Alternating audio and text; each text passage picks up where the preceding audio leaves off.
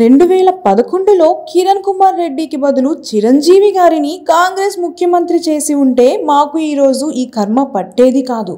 ఆ రోజు ఒక బంగారం లాంటి అవకాశాన్ని మేము వదులుకున్నాం. ఇక మళ్ళీ ఆ అవకాశం మా పార్టీకి వస్తుందని నమ్మకం లేదు.